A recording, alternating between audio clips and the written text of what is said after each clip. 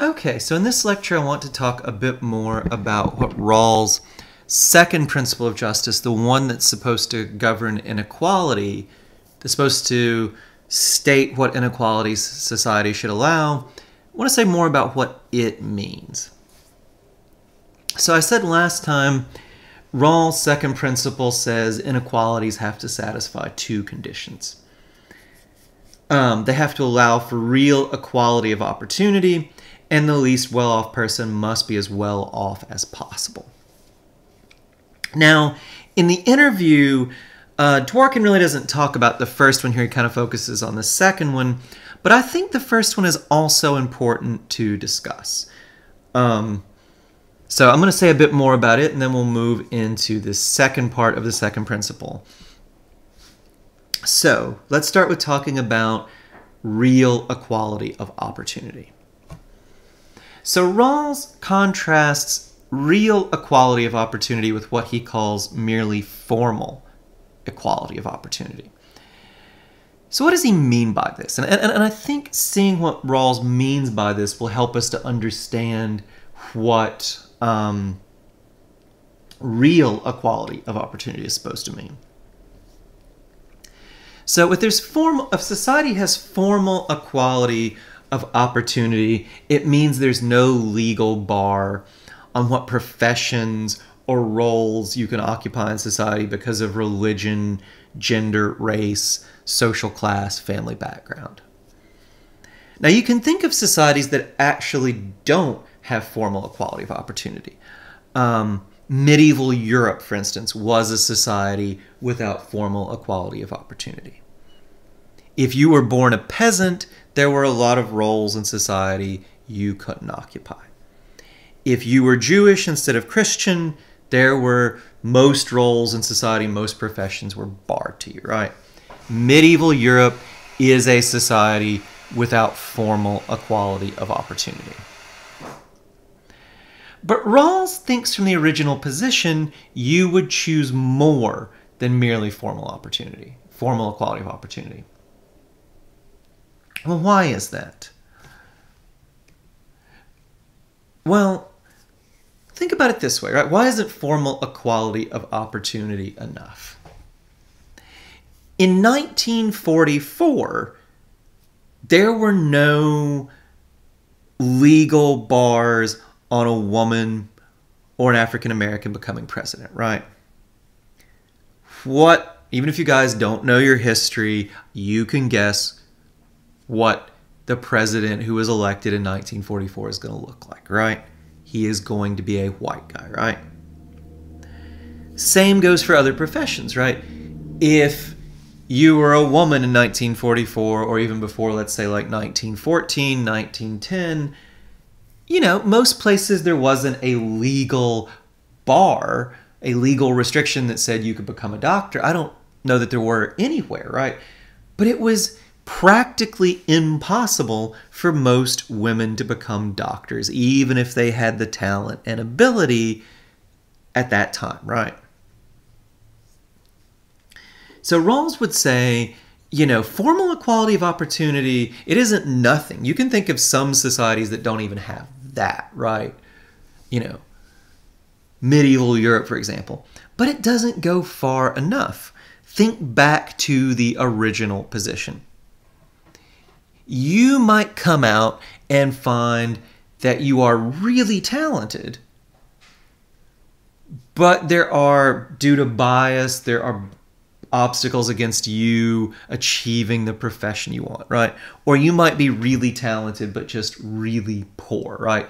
Your parents don't make enough money to pay for medical school or whatever, right? Because that's a possibility, you would want more than formal equality of opportunity from the original position. Rawls would say you would want real equality of opportunity.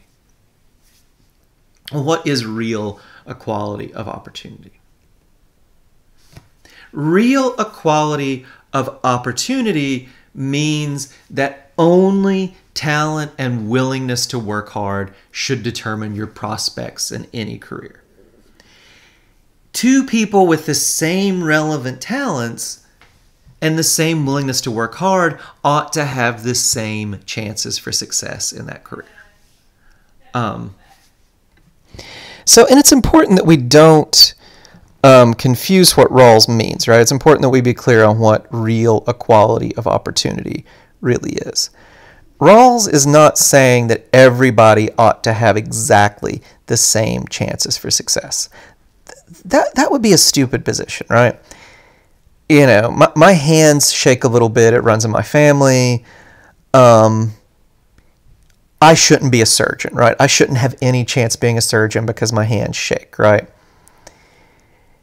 You know, you can think of other things, right? But what Rawls is saying, if you have the relevant talent, if you have steady hands and the smarts to make it through medical school, you ought to have the same chance of being a surgeon as anybody else with the same talent and same willingness to work hard if you don't have the relevant talents, then of course we shouldn't make incompetent people surgeons or airline pilots or engineers or whatever. But if you have the talent and you're willing to work, you ought to have the same chance of success as anybody else. So I just say this because oftentimes people will try to make Rawls or equality of opportunity principle into something stupid. It's not, right? You have to you have to pay attention to the relevant talents part and the willingness to work hard part. Now, look, I mean, already the real equality of opportunity principle is a really radical principle.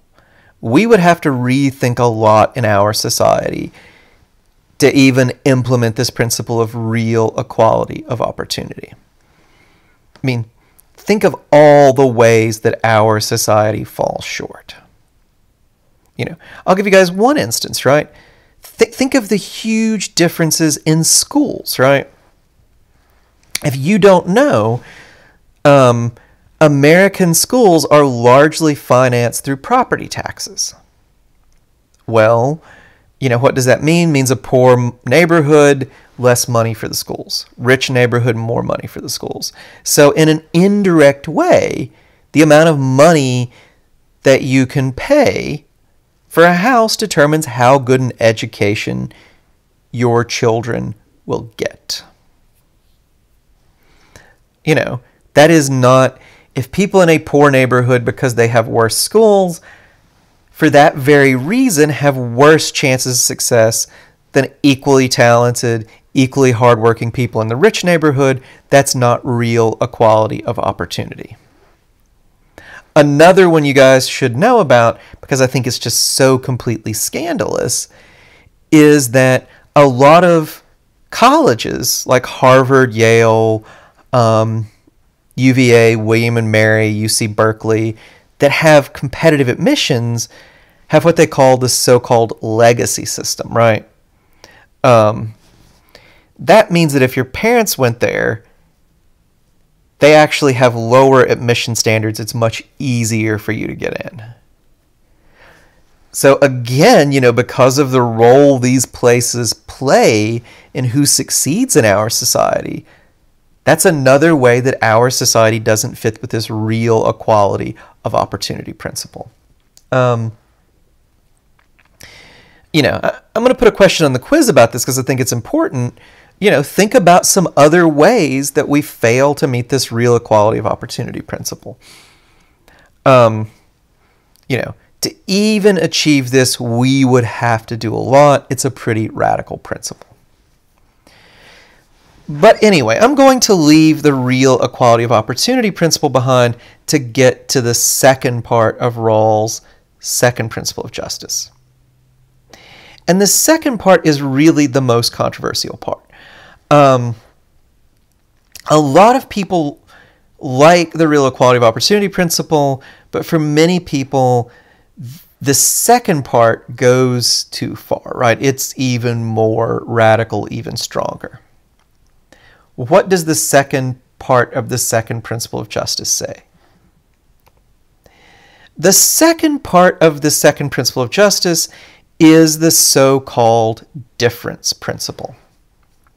And what the difference principle says is that the least well off person must be as well off as possible. Is your society, are the inequalities it allows justified? Well, one, you have to have real equality of opportunity, but once you have that, you look at the poorest possible person in society. The poorest people in society, are they as well off as they could be? Well, to, see how this works, let's take a really simplified example. This is my sort of, it's very crude, it's very oversimplified, but let's look at this, you know, example, how this might work. Okay, so Rawls would say, you know, in our fictional society, we have three groups poor, middle, rich. And we have these four possible distributions, right? You know, one, two, three, four, as we go across. Well, if you were Rawls, which one would you pick? Well, if you were Rawls, you only need to look at the top line, right? And look, these numbers mean nothing. I mean, I just, I was sitting at my computer, I came up with them. They're just random numbers I picked to make this clear, right? You would have to choose number three because if you're Rawls, you don't look beyond the first line. You look at what the poorest of the poor are earning, what they're making in society, right? Is society just? Well, three is because there's no other possible arrangement where the poorest of the poor could be doing any better. All right.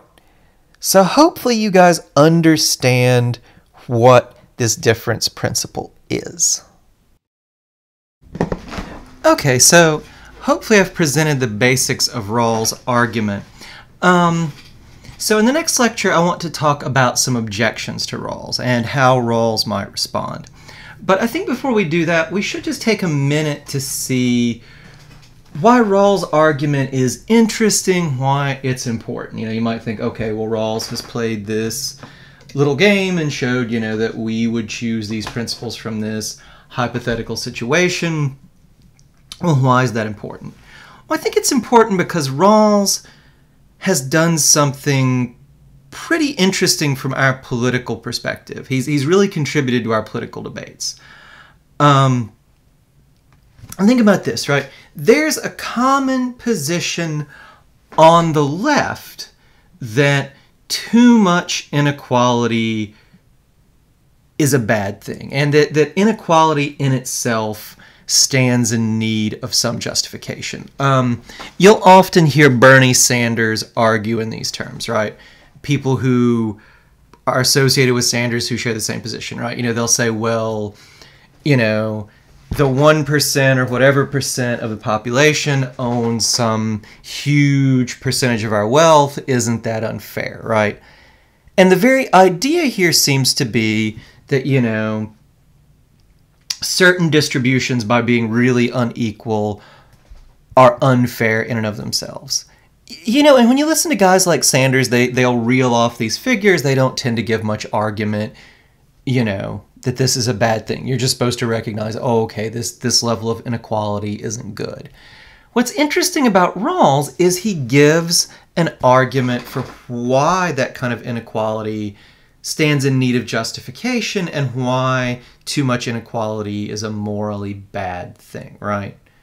You know, you would want equality from the original position because you might come out and find you're poor, you know. That is why this is significant, you know. It is a very clear argument for a position that's pretty common, especially on the left. And, and you know, I think there's some punch to this thought about inequality or you know even to people who might not be on the left or guys like Sanders wouldn't bring it up as sort of their, one of their main points right and you know unlike politicians, unlike guys like Sanders, you know, Sanders never gives us a clear criteria of how much inequality we should allow, how much is bad, you know, where our sort of red line is. Rawls does, right? Rawls says if inequality doesn't allow real equality of opportunity and if it is not to the benefit of the least well off person, meaning if the least well off person could be doing better, then that inequality isn't justified. Rawls gives us pretty clear criteria for how much inequality society can allow. And I think it's worth emphasizing both the real equality of opportunity principle and the difference principle would require major changes to our society. You know, what will we need to do to make sure that everybody has real equality of opportunity? I don't know, but if you sit and think for five minutes, you can probably think of dozens of ways that our society stands in the way of real equality of opportunity. Unequal funding for school districts, legacy admissions at colleges, you know, which we already talked about. Lots of other stuff too. Um, then you know we get to the difference principle itself. Even if we have real equality of opportunity rawls would say well we still need to make sure that any inequalities we have benefit the least well off person that the poorest person in society is doing as well as possible. Um, and look you know i don't know what that would look like but i think it's pretty easy to say that there are plenty of inequalities in our society that don't benefit the least well off right you know, if the president of Apple Computers is earning hundreds of millions of year, uh, dollars a year, I forget how much Tim Cook's earning, but it's a whole lot. You know, there's no plausible story you can tell how that benefits the least well off person. You know, in a lot of states, you know, you have football coaches who are earning millions a year.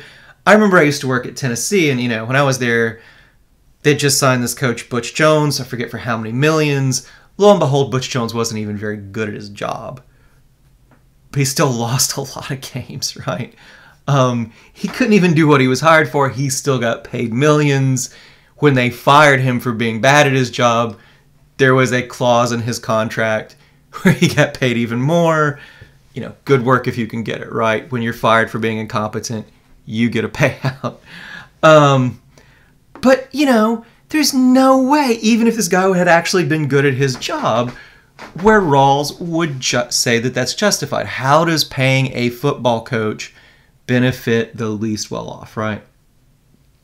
And look, I don't think Rawls is stupid. Rawls wouldn't say that, oh, we have to go in and look at every single person's position, how much they're earning, you know, and ask if that benefits the least well off. But I think Rawls would say you could have way higher top tax rates. You know, look at somebody like Tim Cook, even if that benefited the least well off. You know, take somebody to pharmaceutical company, right? You know, the head of a pharmaceutical company earning a lot of money if that really leads to innovation, really gets us a coronavirus vaccine sooner, you know. I'm not going to begrudge the head of Pfizer, this guy Bourla, his money you know, great, I'm glad he's paid more than I am, right? But Rawls would ask, even for important people like Bourla, well, look, he earns hundreds of millions, right? Do you think he's really going to work way less hard if he only earns two or three million a year? I don't think so, right? Would he really work that much less hard if he only got a lousy 2 million, 3 million a year. No, I think that's enough to encourage most people to work as hard as they can, right? So Rawls would say, you know, there's no way to justify people earning hundreds of millions. You don't need that as an incentive. There's no way that benefits the least well off. So you could tax that level of income very, very highly and you can and should do things with it that would benefit the less well off. Okay, so hopefully you understand Rawls' position and what it means for society. Next lecture, we'll go into the objections to Rawls.